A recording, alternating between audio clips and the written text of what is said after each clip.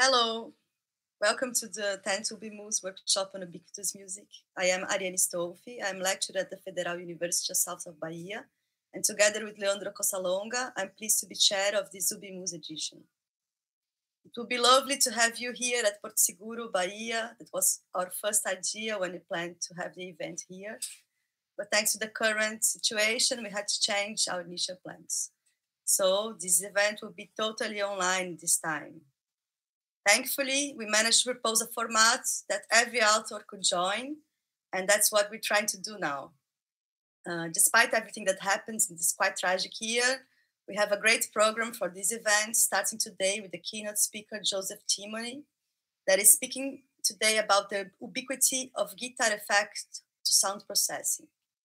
After this talk, we also have two artistic presentations, and tomorrow we'll continue this event with papers presentations that bringing us research in many nice topics such as robotic, music, algorithm composition, participatory music practices, musical creativity, computational resources, and music education. Tomorrow and after, we'll have this presentation in English, and on Wednesday, they'll be in Portuguese and English, and on Thursday, they may be in Portuguese. This presentation should be watched on our YouTube channel, and we will collect the questions there on the chat to present them to the authors. On Friday, we'll have another great talk of our keynote speaker, Elena Lima, and she will talk about UbiMU's resources and application on music education, together with another two artistic presentations. This last talk should be in Portuguese also. Now I invite Leandro to that is also chair of this event to talk a bit and he was playing how it's going to happen. Okay so welcome to moves 2020 guys. We're happy to have you all here. Even though it would be nicer if you could uh, be enjoying the pleasant atmosphere of bahia and its warm warming and welcome people. By the way this welcoming atmosphere is something very familiar to the UB community which is a very open, engaging, and collaborative community. A couple of years ago, when we invited Ariane and the Federal University of Southern Bahia to host the event, uh, we were sure it would be a perfect match. For those who did not have the opportunity to visit Porto Seguro as yet, uh, I must say it's a shame that we missed this opportunity. The place and its surroundings, it's beautiful. It's the birthplace of Brazil and is also a very rich culture that you certainly should take note of. Well, things have changed quite a bit recently. The world looks a different place now. Some things seem to be improving while others are degrading. Nevertheless, we are still here. And as you know, we had made some tough decisions along the way. When we decided to postpone the event, event I must say, I was secretly hoping things would be back to normal by now and we would be together enjoying the usual chats and exchange of experiences. Well, not yet, but I'm glad we also put a lot of thought into creating a new format for the UbiMus 2020. I have to thank and congratulate the UbiMus organizing committee for all the hours they put into creating something new and very interesting for all of you truth must be said, we are very fortunate to have in our community very able people uh, that were used to this type of remote collaboration that made possible the event to go on. So to all organ- organization uh, committee, collaborators, and authors, a big thanks. I appreciate everything that already has been done and more that will come in the following days. A couple of warnings before we start.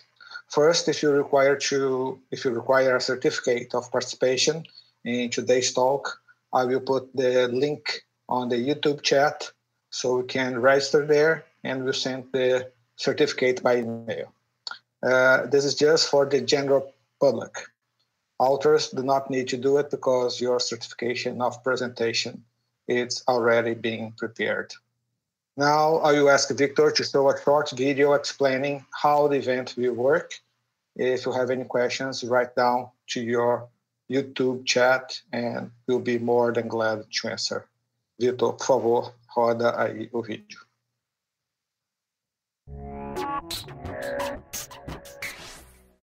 Hello there. For the first time, the UbiMus workshop will be 100% online.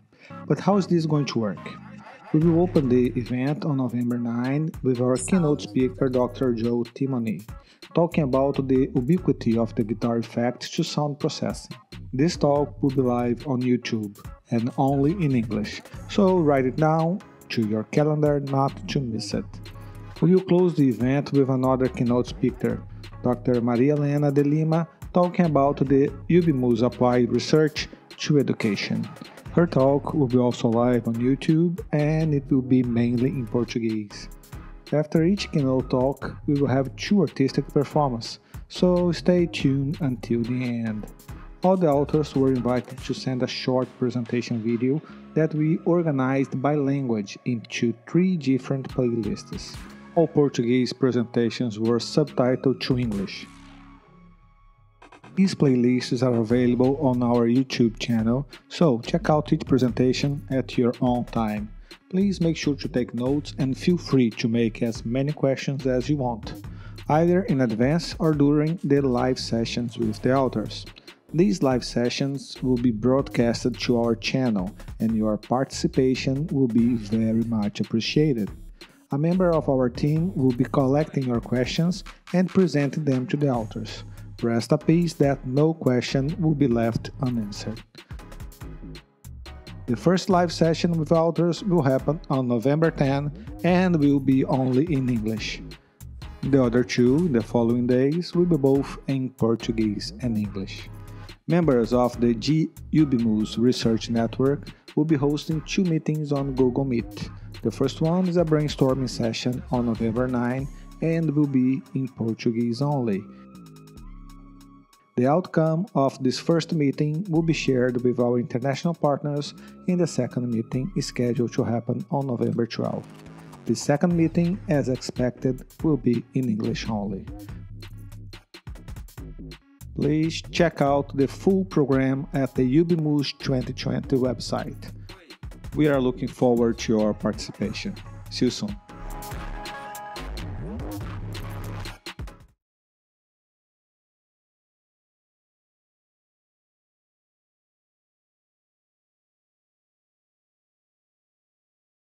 For you guys. Thanks. Good morning, good afternoon, and good night, or good evening.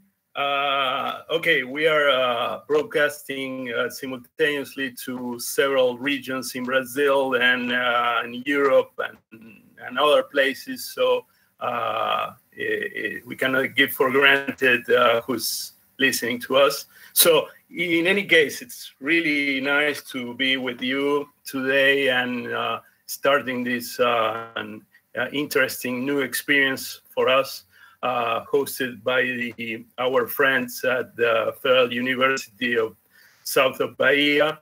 Uh, I'd like to thank uh, Ariane and Leandro for the excellent work that they have done, and and also our partners in the committee and um, and our keynote speakers and everybody that's uh, making it possible to do this great things in UbiMUS.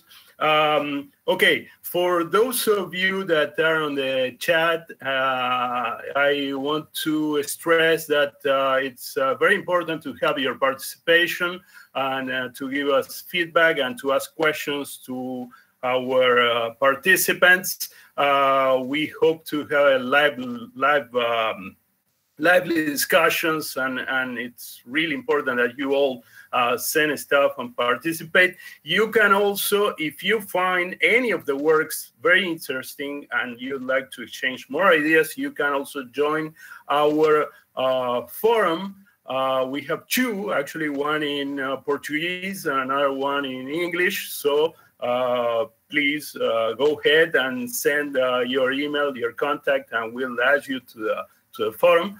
And uh, as uh, we move on with the activities in, in this workshop, we'll start preparing for the next one, which will happen very soon in Europe.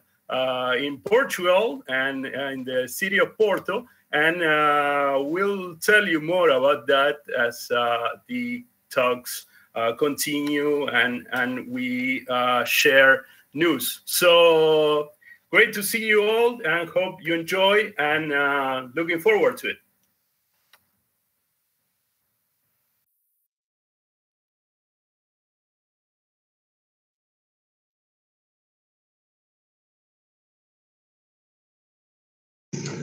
So I believe, uh, oh, um, my name is Marcello Messina. I believe I'm next on the line and I'm gonna uh, talk about what we have, uh, uh we are going to like uh, enjoy today. And uh, before talking about the keynote speech, which we're very delighted to present, is I think I have to talk a bit about the artistic presentations uh, on behalf of all uh, the organizing committee and especially on behalf of uh, Luzilei Aliel, who's our um, artistic chair and uh, uh, helped select and uh, organize these presentations. first of all, we, we want to thank everyone who submitted their pieces, high quality submissions. we apologize for the disruption caused by the current pandemic. However, we believe that these artistic works uh, demonstrate the current efforts in creative research in UbiMus. Uh, today, we are going to listen to uh, and watch basically uh, uh, two artistic presentations. I'll talk a bit, really, a few words about all of them. Um, Playsound Agora by Ariane Stolfi is uh, based on a tool, uh, Play Sound Space, that was developed in 2018 for the practice of free improvisation. In this uh, uh, particular version, there is a participatory performance that happens with the audience uh, that interacts through the chat uh, interface with the, with the performer.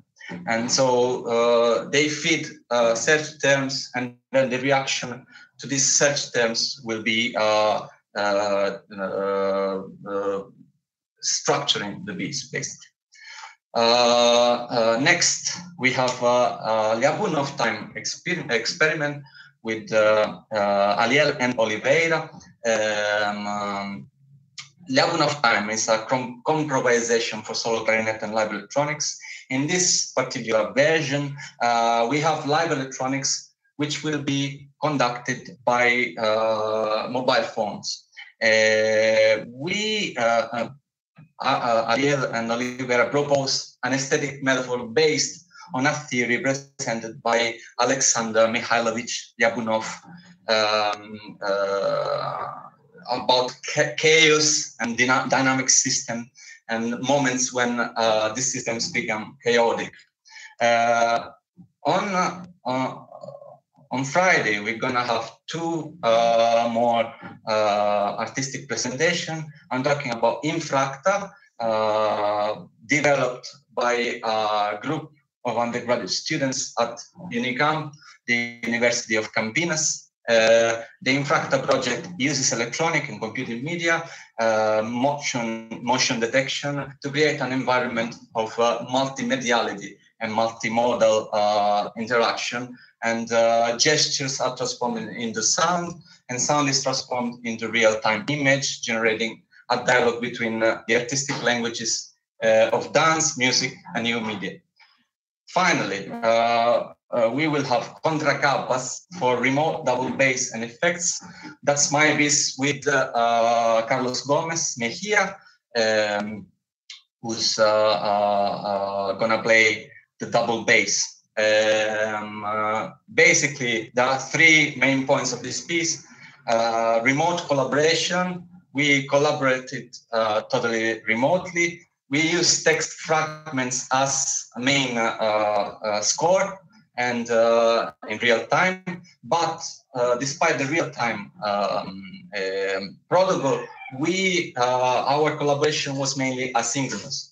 Uh, so like uh, um, touching upon another important uh, another important element of ubiquitous musics. Um, finally, uh, after talking about the uh, the artistic piece, finally we get to our uh, um, keynote speech. Uh, I'm delighted to uh, introduce you with Joe Timoney. I met uh, I met Joe in Marseille in 2019 during our last UbiMus workshop. It was a really good um, meeting, and we had a uh, lots of uh, interesting talks uh, afterwards.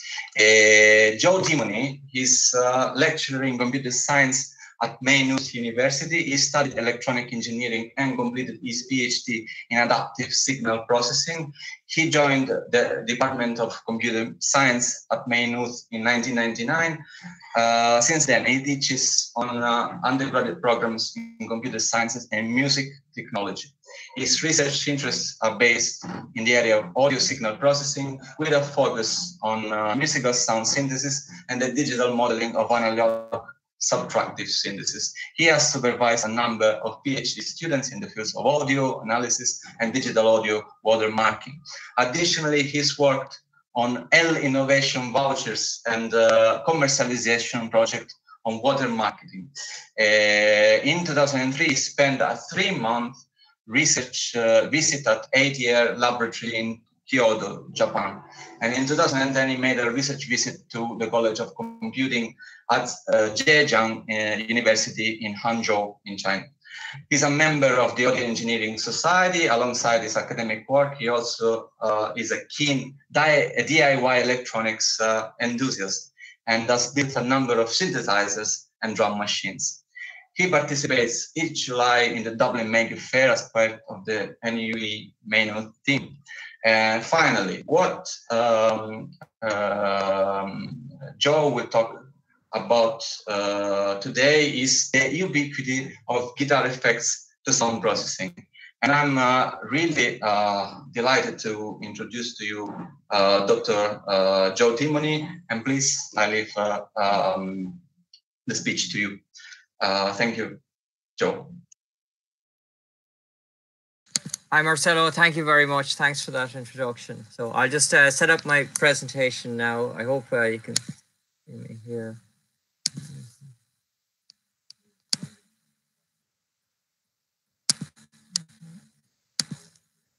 Okay, can everyone see that? Assume it's okay.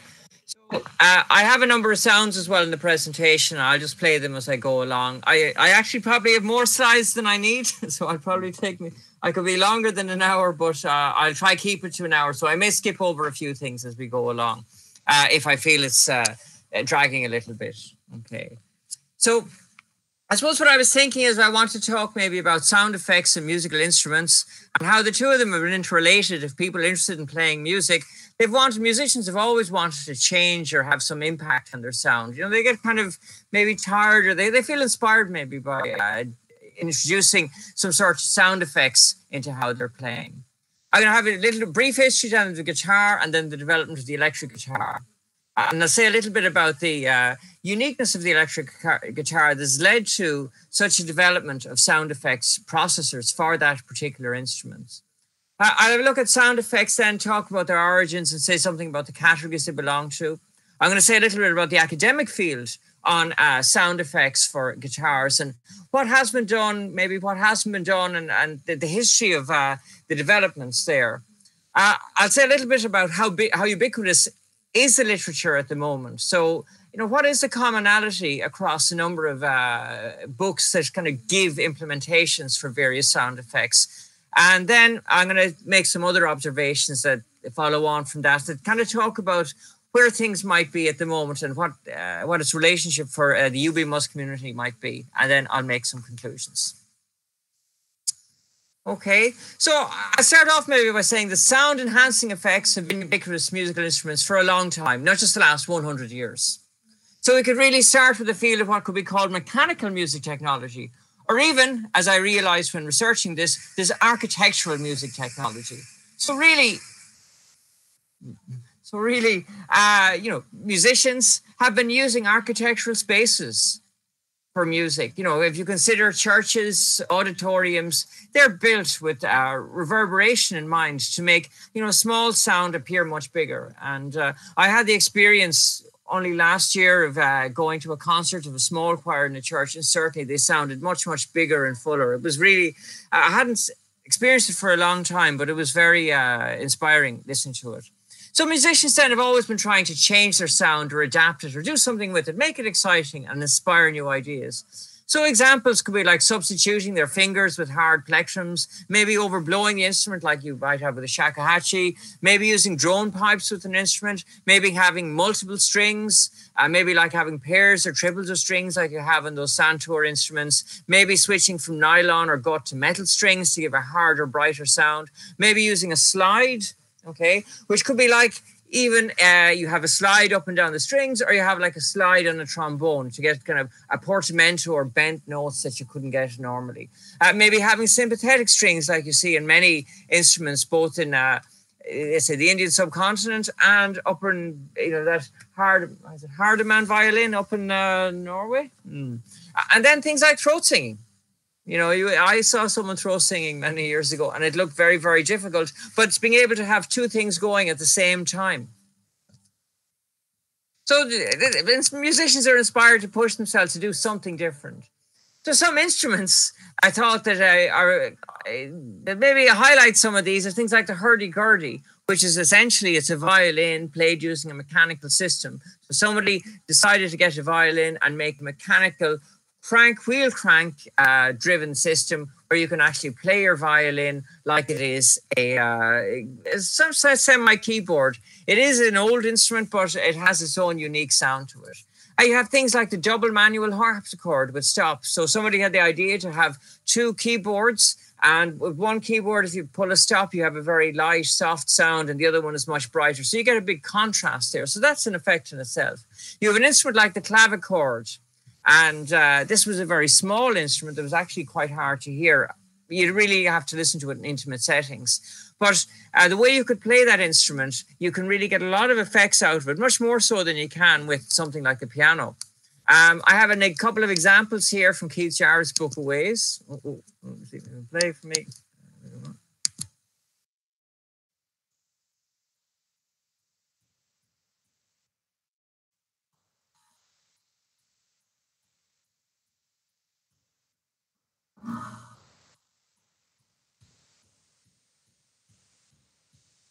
Hello? Joe was. Uh, yes, yes, yes, yes. Right. Sorry, sorry. Uh, uh, say that. What's up? Is that? A, can you hear uh, that? Yeah, we, we, weren't, we weren't watching the slide. Oh. Is that all right? First slide. Yeah. Okay. So basically, I, what I did, what I was demonstrating with that is with that clavichord instrument, you can actually bend the note by pushing on the key, and you can also get a vibrato by doing the same here. Oh, maybe I should uh, turn the microphone a little bit. So I just in this example here, if you listen. Uh, Joe, uh, yeah, we sorry. Are, oh, yeah, wait, wait, wait. Yes, yes. What's up? Uh, Joe, we are stuck uh, in the first slide, the title oh, slide. Oh, I see. I see. I see. Sorry. Sorry. Can you see the slides change there? Okay, No, not yet. Not yet. Okay. Sorry. Now, okay. Now, now. Ah. Well. So all right. Let me. Let me uh, and I just sorry about that. I'll just present my entire screen. I, I might be the easy. Oh, it won't allow me to do that. Uh, a PowerPoint slideshow. Okay. Okay, can you see that now? Is that, can you see the move there?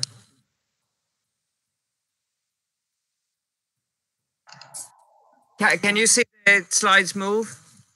Yeah, they, they move. They move. Oh, yeah, great. Okay, perfect. Okay, so I'll just play the second example. This is an example of the clavichord. I'm just playing and being able to push put your fingers into it to get this kind of sound, you know, this vibrato.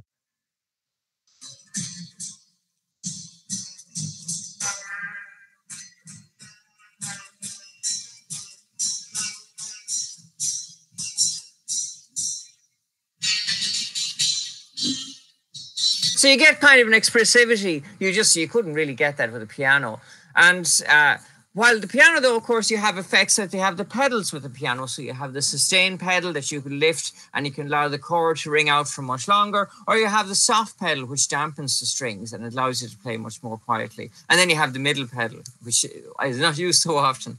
And then, of course, the church organ. And that's another instrument that effects were essentially built into it with the stops. So by changing organ stops, you can change and alter the, car- the character of the sound. And that made the organ, I suppose, one of the biggest, the largest, and the most impressive instruments of uh, you know, the Baroque era.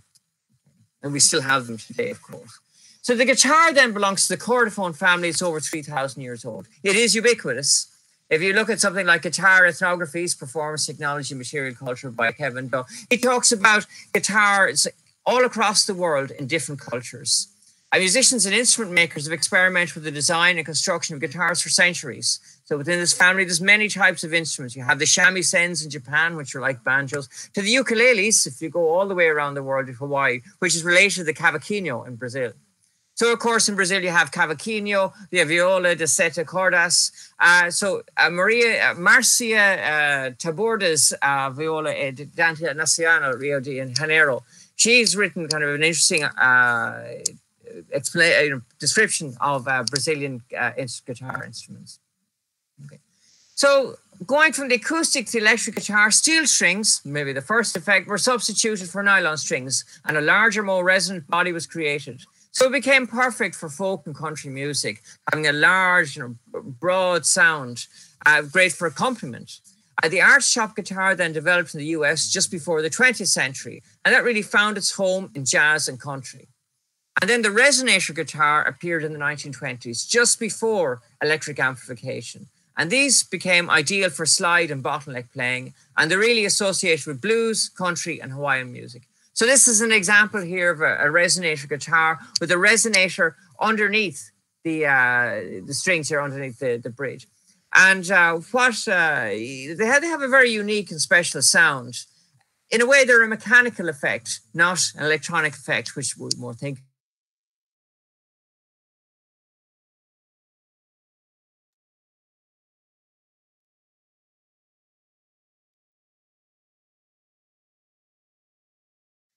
Oh, no. We can't hear.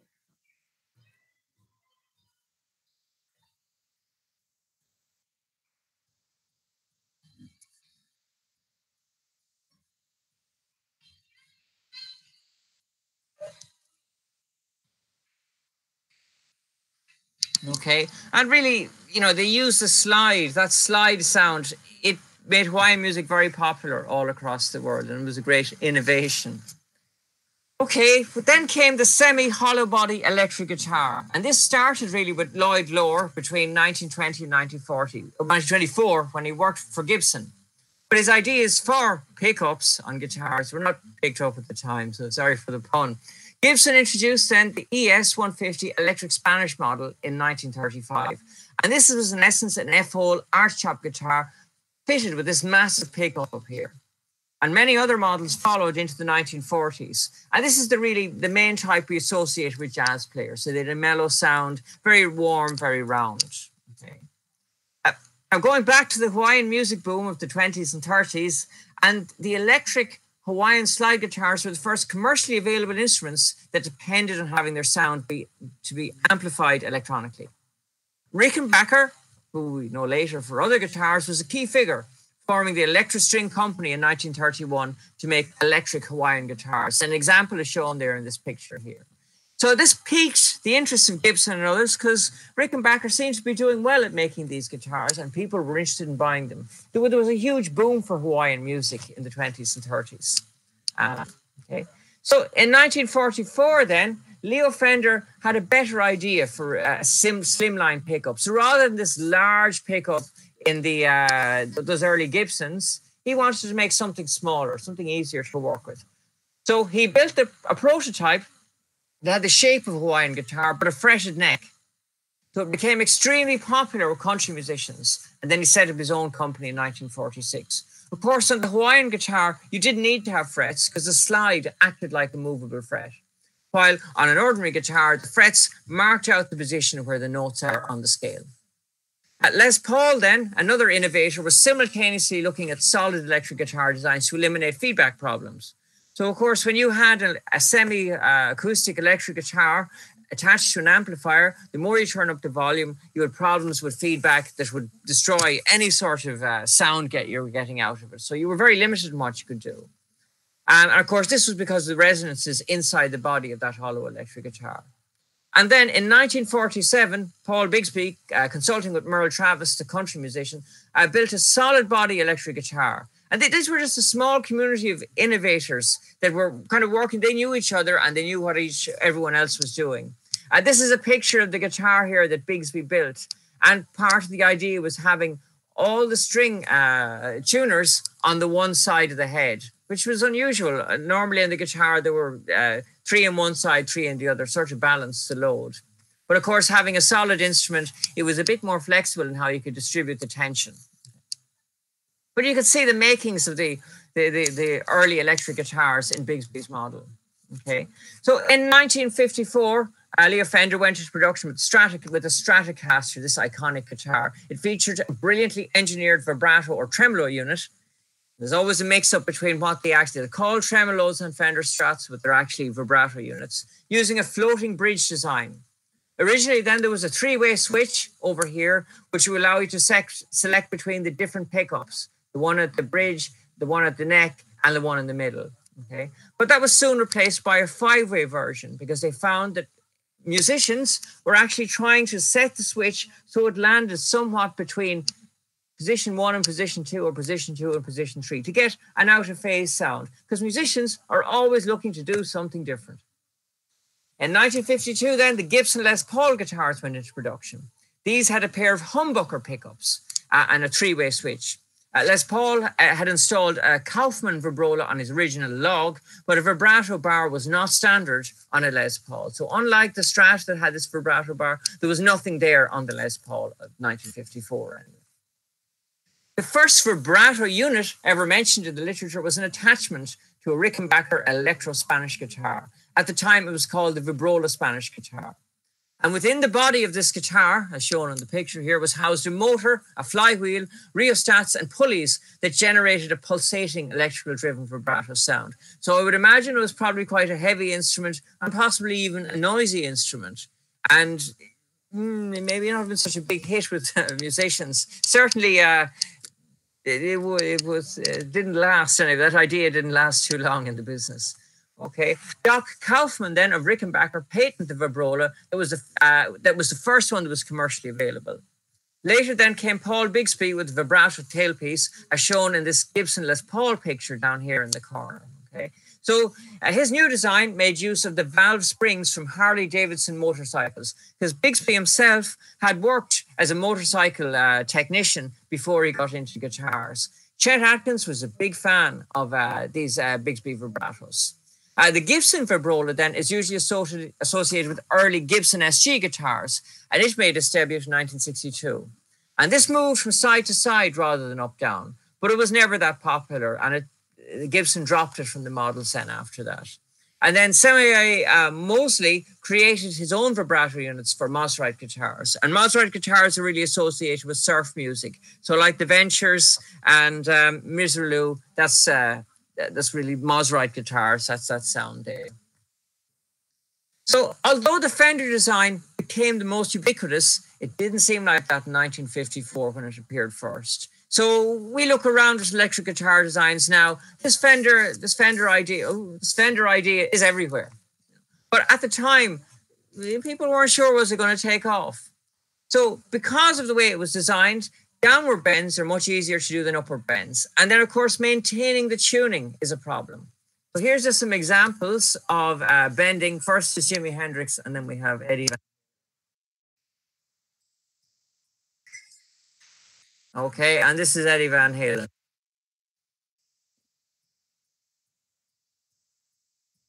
Joe, uh, I'm not yeah. sure if the sound is all right for YouTube. Uh, let's oh, double check that, please. Oh, in terms of uh, copyright.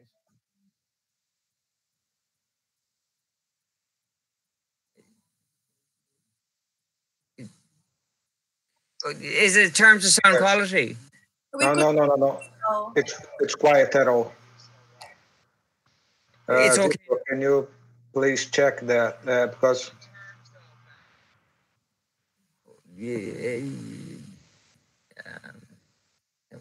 uh, people are saying here in the chat that they cannot hear the examples. So Oh, oh, can they now? Okay. Um, hang on now. Uh, you see, I can't see the chat there. Um, uh, let me see now. You may need to open it outside of uh, so so that it actually plays back on the on the speaker. Oh, oh, oh. What should I do, Damien? Uh, open your presentation uh, not on uh, the chat, but actually outside of the chat, so that the the sound plays back on the speakers. Oh, I see. Okay, so how, how do I do that now?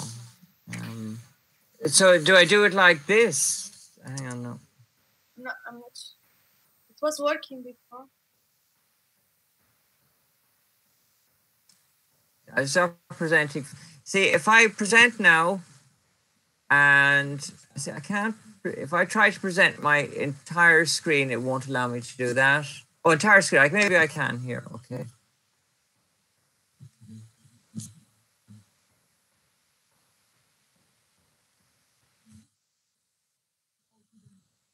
Okay, if I play this now,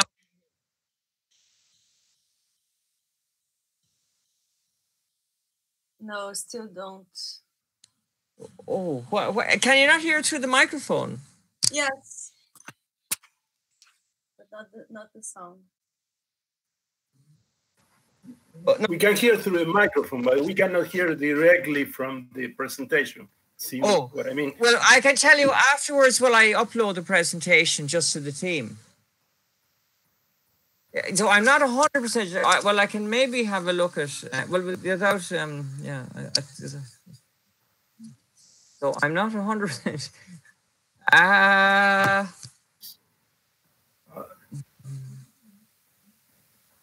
Could, could you open the presentation outside of the of the chat and then uh, have uh, be playing your your examples as you move on? oh, I see. O- Okay. Uh, oh, uh, maybe just okay. Okay. I'm not. I'm not mhm. uh, so if I have the presentation here, and then just play it like. Uh, so like. No. Does that help? No. No. Let me see. How okay? Let me check the settings here. Uh, is there a? Forward, everyone. yeah, Hang on. Uh, whiteboard, change the full screen, turn on capture phone, use a phone for recording settings. Let me see settings. yeah, but it doesn't feed audio. Oh, I, hang on. I, I I know what the problem might be. Oh, hang on. Ah, Oh. Uh, let me just check.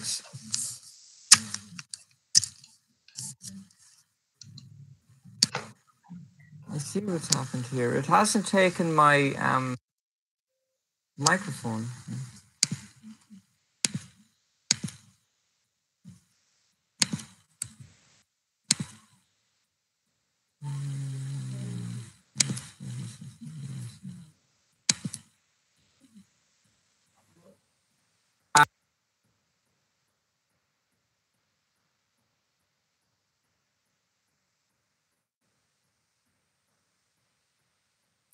Now we can't listen to your microphone. Now you have to just turn on again. Yes. Turn on your microphone on Google again and should be work.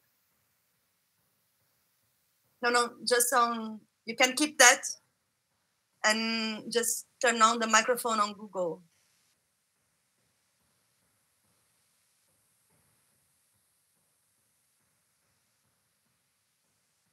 Uh, now it's.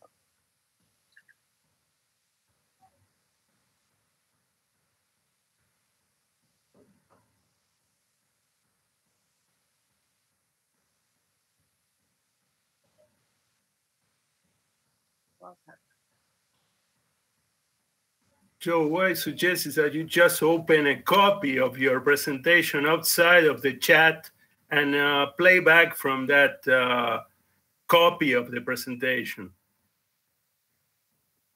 Just keep everything as you had before and again. Maybe open a, a copy of it. something blocked. I think you should allow your your the browser to use your microphone. Maybe you refresh the page.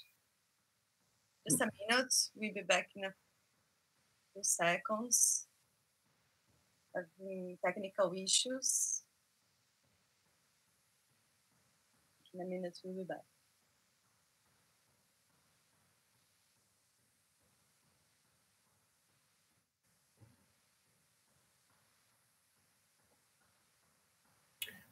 Eh, Leandro, você pode falar um pouquinho?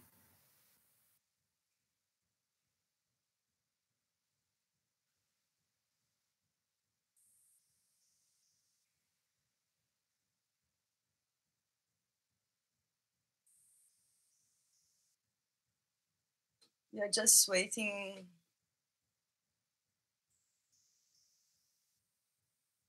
Vitor, maybe you can put the static video while we wait. The opening. Okay, guys. So we are very sorry for this technical issues, glitches. We did try, uh, we did all the sound testing before we start, but for some reason things did not work as supposed to. Uh, Joe is uh, trying to fix that. So bear with us for one moment. If you have any questions, please write down on YouTube. And once again, if you need a certificate, I will write down the link to a Google form for you to fill in, and we send the certificate by email. Uh, in the meantime, I will just take the chance. It's not supposed for me to be talking right now, but uh, I'll take the chance to explain uh, how things are organized. After this presentation, we have two live, two uh, musical performance. And tomorrow, No, I can't hear anyone. Hello. Okay, Joe. So is that the Hello. And tomorrow we have a live session with the Can authors. you hear me? Yes. Can you hear me? Yeah, very good. Joe. I would can hear you now.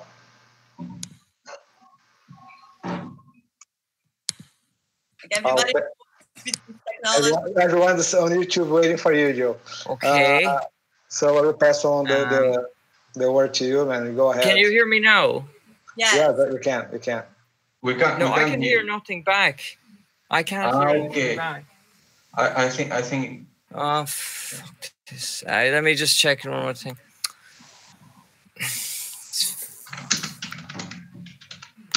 Oh no.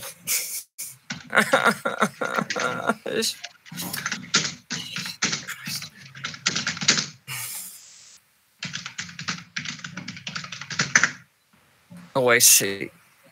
This.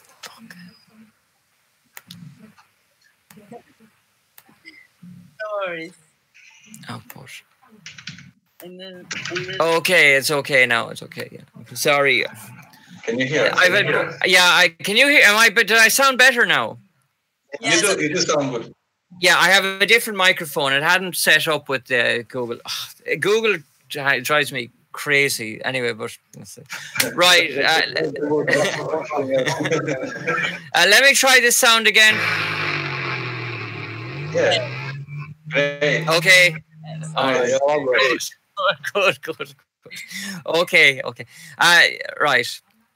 Okay. So we were talking about tremolo arms, and you because it. your, your slides back now?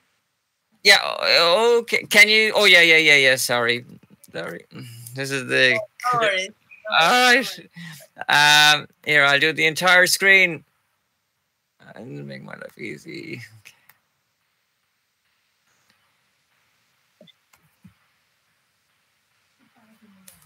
Okay.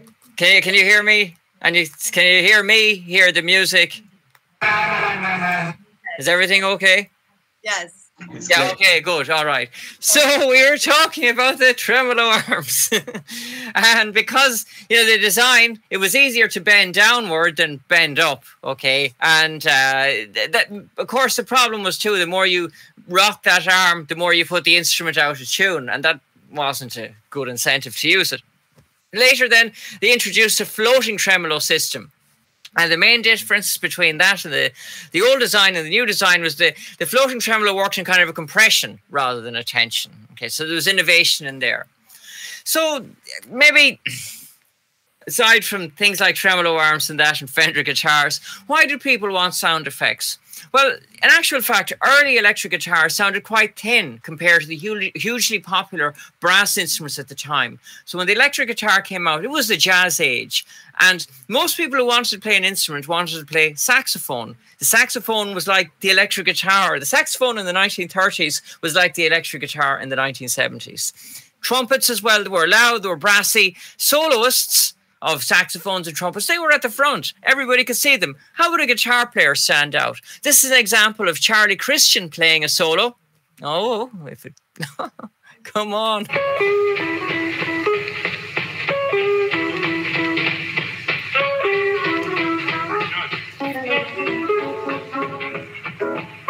Okay, so you can hear like it's a nice sound, but it's thin. It's not really loud like a saxophone or anything like that.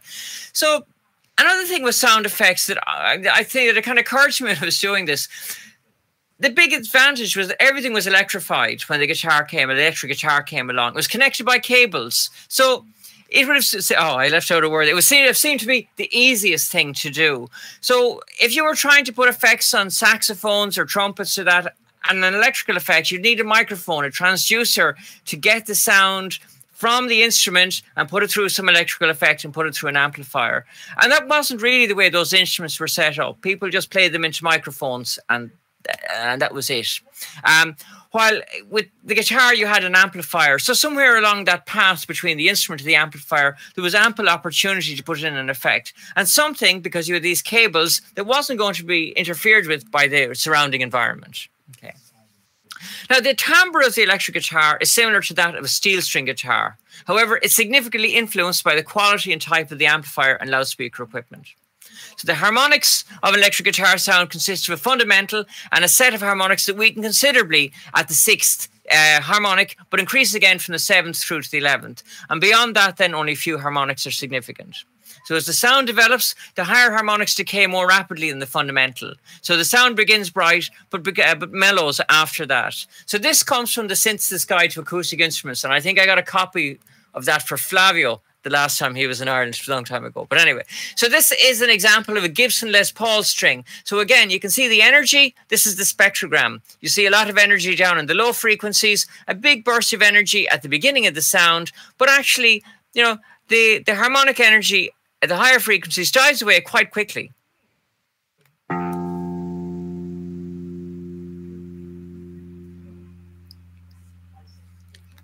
So you're really left with the low frequencies. This is a Fender Telecaster.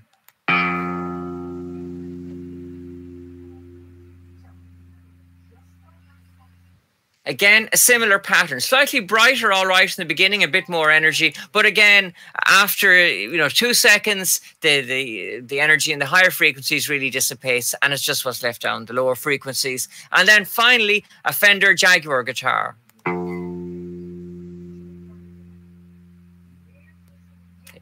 And again, that pattern is repeated. Actually, this is a little bit bassier than the others. Okay. So another thing, I actually came across this when I was looking at a Bahian guitar, and I thought, given the conference, I thought this might be a, a, a relevant uh, instrument to mention. So this is four single strings across a slab of wood and the neck of a cavaco. Used for uh, carnival celebration, celebrations in Bahia by the mid 1970s, it had come into Brazilian rock music and it had evolved separately from electric guitar guitar developments in the US. So it's it's a uniquely Brazilian instrument. So I took just a couple of seconds from this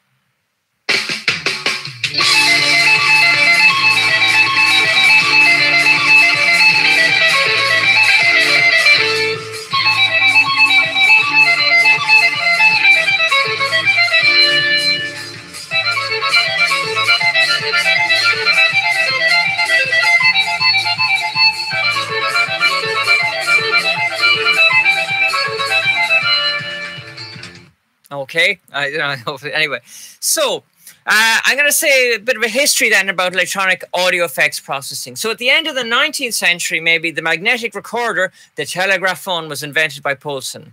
And uh, improved this design in 1928 by introducing the magnetic tape.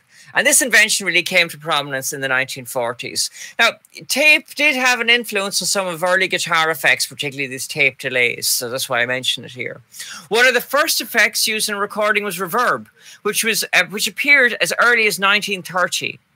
Now, uh, I, so I think with reverb, when they made a recording inside a studio, it could sound very dry, not like a live setting. So you needed to put in some reverberation afterwards to give it a feeling like it's in a it's in a real environment because people are used to listening to music in real environments. So it was originally carried out in custom-made chambers. So people would build a reverb chamber, play the music into it, and re-record it. The drawback, though, of the chambers was that they could not give the long reverb times in uh, for environments like a cathedral. Uh, Electrotech, uh, Elektromesstechnik developed a plate EMT 140 unit in 1957. It was very big and weighed more than 170 kilograms, so there was no way you could bring that on tour. Uh, in 1959, Leslie developed an artificial system based on the spring reverb, and this was about 1.2 meters in height. But by the 1960s, he'd made a smaller version that appeared in many amplifiers. And then in 1976, EMT introduced the first digital reverb unit, the EMT 250, and that cost $15,000 which was probably the price of a house at the time. Um, but by 78, Lexicon had released the Model 224 for half that price. So there was a lot of innovation. And what was expensive one year was undercut by the competition a year later. That happened also with synthesizers and samplers. Uh, the tremolo effect then Mechanical systems for producing the tremolo effect have been around since the 16th century. It was implemented on a pipe organ in Bologna, Italy. And this was followed by the appearance of an organ effect called tremolo by Leslie on their famous uh, rotating speaker. So, this is an example of it here. I think it's in the second bit.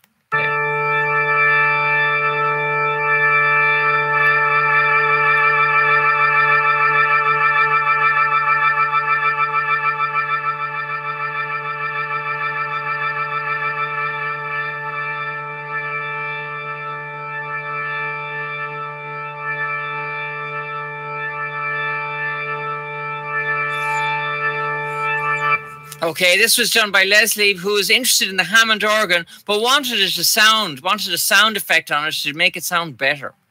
At the end of World War II, then, DeArmond invented the first electromechanical tremolo. It was a small motor shaking a cylindrical container of electrolytic liquid. Inside was an electrode that intermittently became conductive whenever splashed by the liquid. So the agitation at the speed of the liquid uh, could be increased using a button. So it was quite a complex sort of design, unlike you know, unlike things that are made nowadays. So the original tremolos were designed for electro pianos, but in the 50s, they were integrated in guitar amplifiers. And this was the very first mass produced effects device. The Tremolux was released in 1955 and the Vibrolux models in 1956 by Fender in their amplifiers. So it was most famously used by Bo Diddley on a hit in 1955, on hits in 1955, tracks such as Diddley Daddy.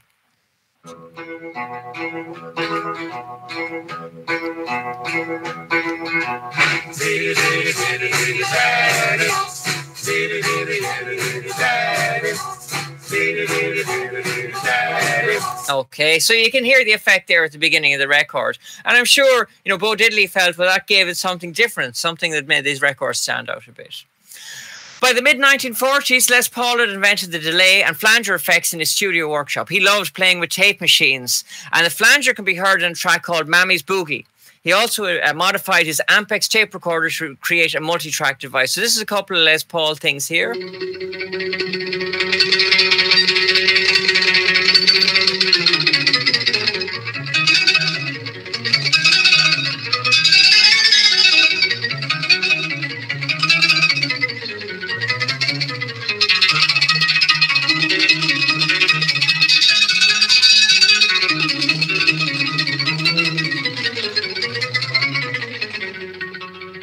So there's so many things going on in that. It's actually well, it's hard to actually tell what's what number of effects he's had. Uh, this here is another one. This is.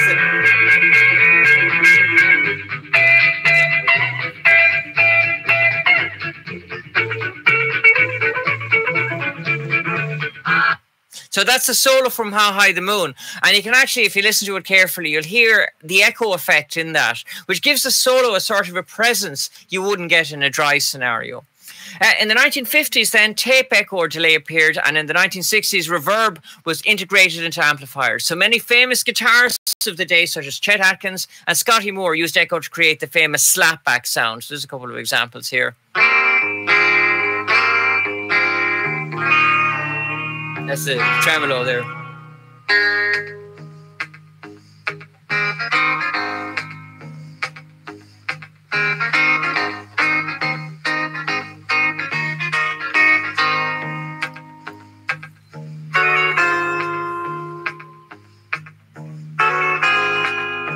So you hear the slap back on the uh, oh. So you hear the slapback on the on the beat on the bass note there, and this is Elvis doing Mystery Train.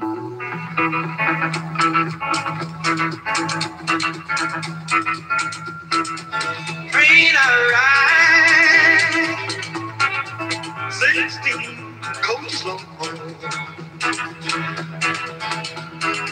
So certainly that uh, you know improves the sound of the guitar there as well. So there was four broad categories of delay that emerged. There's tape or plate delay. So the Roland Echo RE2010 uh, 201 is a good example of that. There's analog delay, which was invented in the 70s. Here the delay time was limited to 500 milliseconds, and these colored they distorted the sound. I'll say a little bit more about them after. Digital delays then began to appear in the early 1980s and could offer times up to 10. Oh, nowadays can offer times up to 10 seconds, and then software-based delays. Uh, looping then was first implemented with tape recorders, but now it's done digitally. In pedal form, they were very they're very convenient to operate. So nowadays you can buy loop pedals, but back in the 70s when people started doing things like that, you needed to have uh, tape recorders up on tables. So loop duration depends on the memory and layering. So I give an example here of Robert Fripp's Frippertronics from Let the Power Fall, and uh, this is kind of early looping where he did this uh, with Brian Eno, where he plays notes on the guitar and he builds up layers of sound on that. So it gives a very uh, interesting ambience.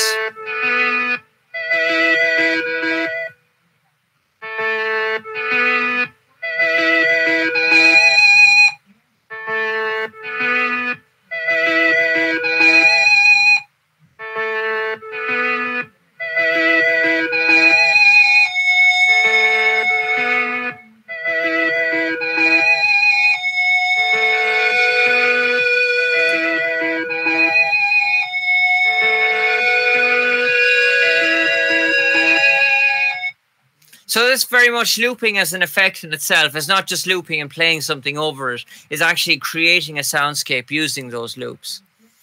Okay. Um, in the 1950s, then, of course, the famous distortion effect made its first appearance based on tearing holes in the membrane of the speaker to driving the signal into the saturation of the amplifiers themselves. So there was a few different techniques. It either damaged the amplifier speaker cone or they'd actually fiddle with the circuitry or overload the amplifier. So examples are here from early rock and roll. Give that aggressive rough sound.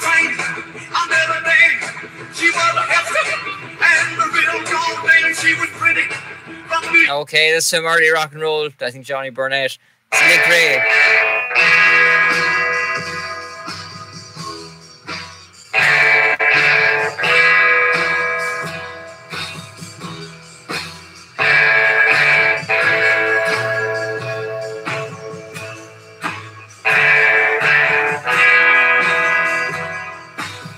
That's Link Wray Rumble, and this is Link Wray The Falls, I think.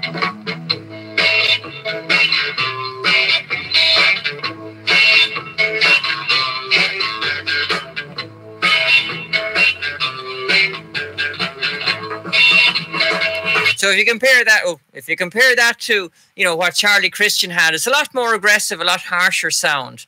So the Gibson Fuzz Tone Down appeared in 1962. Oh yeah, and this is maybe the last one. This was all. This came a good bit later, but it's also associated with tearing holes in the speaker membrane. This is the the Kinks.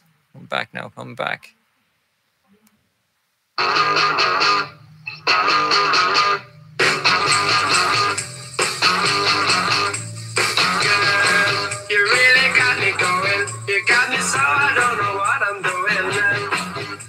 Okay, so that again a rough kind of aggressive sound. So the Gibson Fuzz Tone appeared in '62. It was the first pedal. Uh, the, but the original advert for the it was a pedal in the sense you put your foot on it to make it operate. The original advert for the Fuzz Tone sold it like it was a synthesizer, a tone genie for the electric guitar. It was claimed by Gibson it could do organ-like tones, mellow woodwinds, whispering reeds, booming brass, and bell clear horns. These are some of the examples from we'll the use a record. thin-bodied electric guitar now, and the sound is that of a cello. Okay,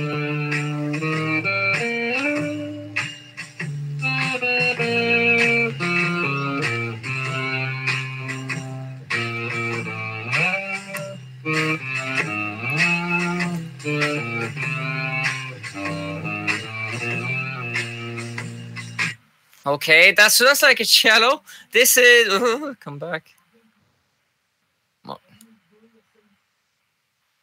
I may move this. But the effect is that of the alto sax.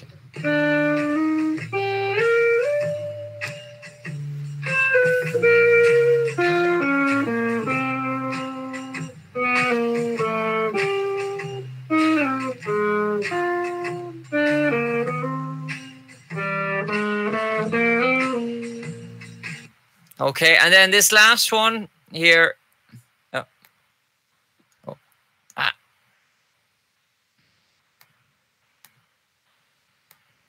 It's mellow. It's raucous. It's tender. It's raw. It's the Maestro fuzz tone. You have to hear this completely different sound effect for the guitar. Oh. No, I put it on. I best put it on.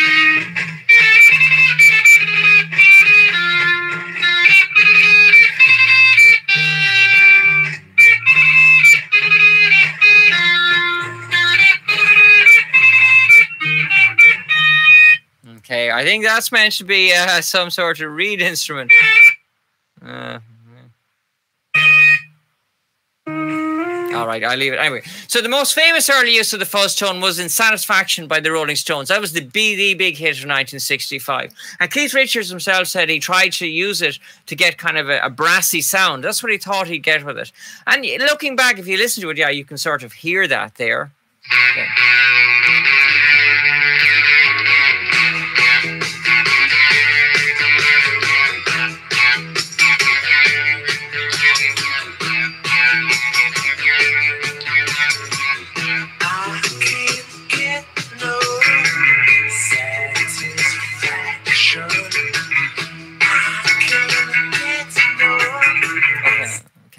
So, um, in 1965, then the fuzz tone was followed in the UK by the tone bender a couple of years later. So this was an English-made pedal, but I think they took a fuzz tone apart and made their own one. And then the Rangemaster came out the same year, and the Fuzz Face in 1966.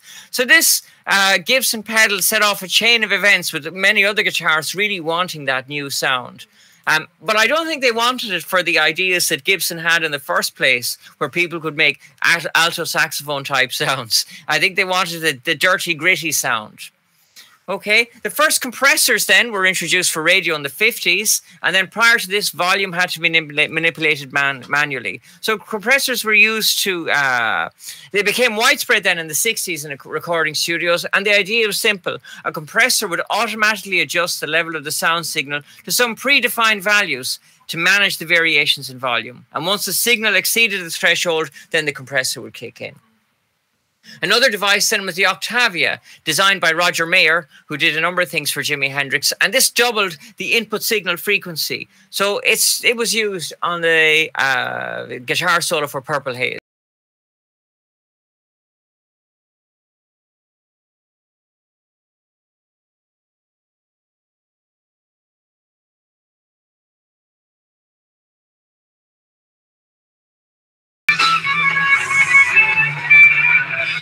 Okay, so you can hear the timbre of that. You can hear the two notes, that octave note, in actually that guitar solo. Uh, wow Wow was invented in the mid 1960s. The original Vox amplifier had a switch known as MRB, mid range boost, that increased the presence of the sound, boosting the central part of the spectrum, and that 300 to 500 hertz. Brad Plunkett replaced this switch with a potentiometer, which at the time was much less expensive compared to it. So, this is where the switch was on a Vox amplifier. So varying that potentiometer, so it's a variable resistors, variable resistor while playing to the amp, created a wah wah effect. And he put this in an organ pedal then, so he could operate it with his foot. And so the pedal came into existence. So Vox then put the pedal on the market under a couple of different names. Okay. So this effect is actually familiar to trumpeters who've been using it since the 1920s by put, putting a mute into the trumpet. So they could use their hand at the top of the mute to either create the effect, the effect or a mute stem could be moved. So this is just a couple of examples of wah wah. This is Jimi Hendrix and then there's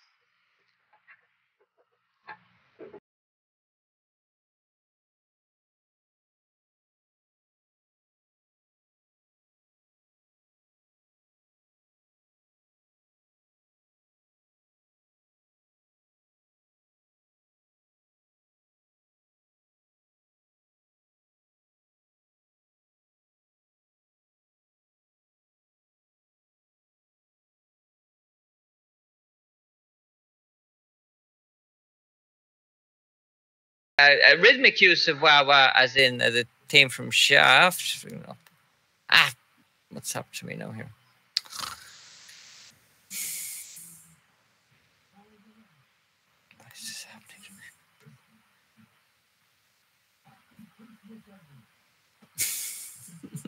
Stop doing that.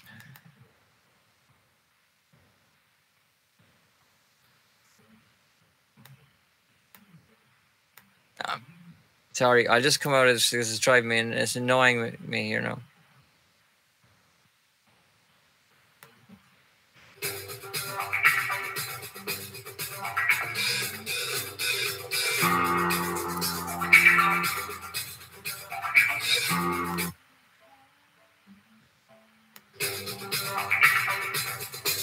So this rhythmic effect with the wah wah, which is quite, quite famous, uh, particularly in the 70s.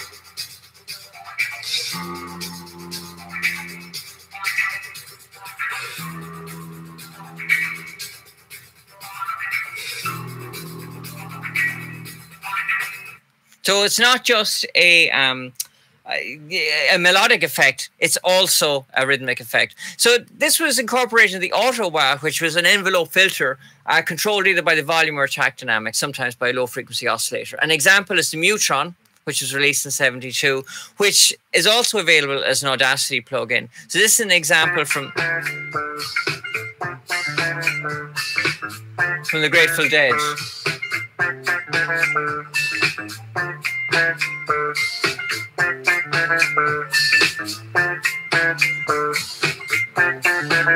Okay.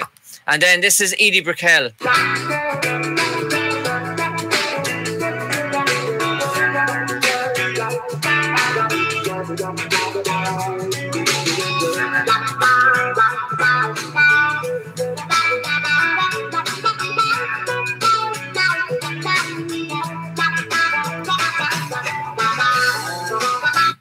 Okay.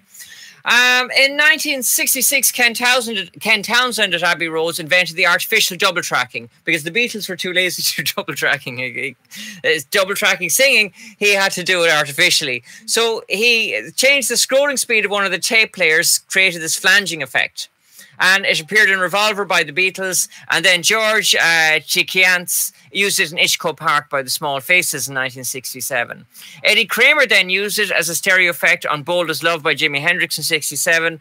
And then Warren Kendrick invented a reliable method for producing it using two Ampex recorders and a screwdriver between them, as shown in the diagram over here. So basically, he could move the screwdriver and that would uh, create this flanging method. This is Jimi Hendrix. Ah, come back. Oh no, this is the this is the Doobie Brothers actually. Sorry, you're the flanger.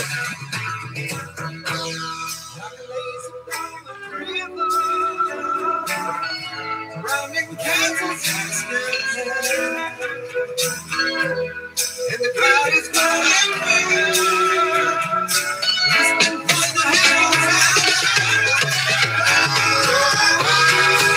So you can hear feel that sweeping in the sound itself.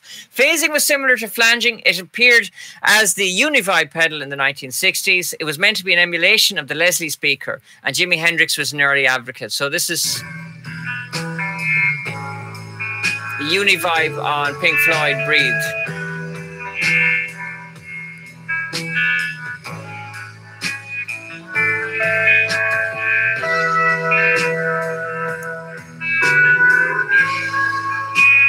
I have a couple of other examples here. Then this is this is Billy. This is actually.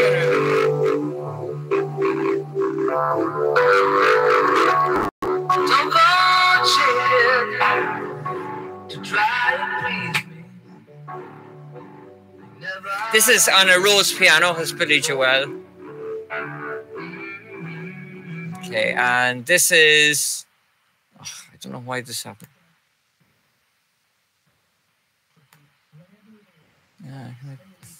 Here I'll just play this one. Ah.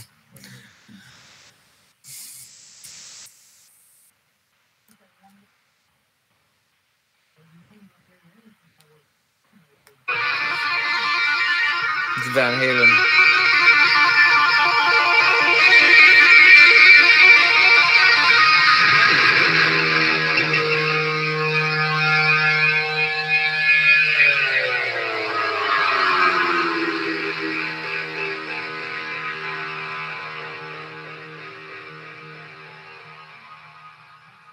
Okay, so that whooshing sound is really associated with uh, phasers. This is an Isley Brothers track.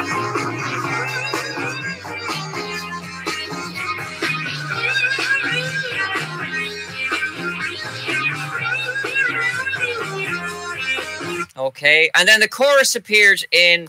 Uh, oh, the chorus appeared in 19. 76. So I'll just play one example.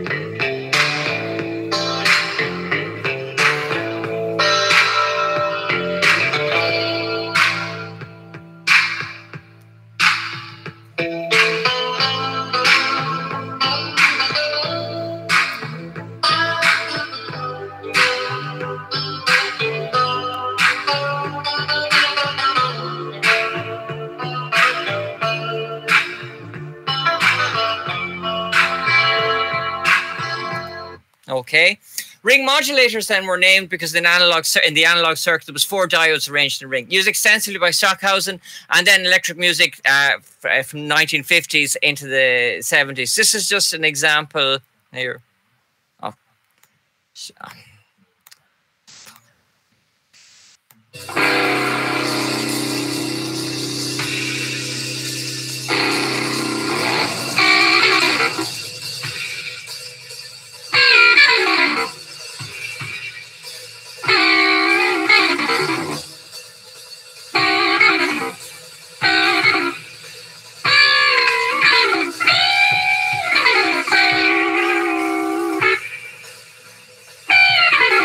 Okay, that's from the Mahavishnu Orchestra from uh, 1975, I think, Visions of the Emerald Beyond. So you can hear it has a very um, inharmonic sound to the tone.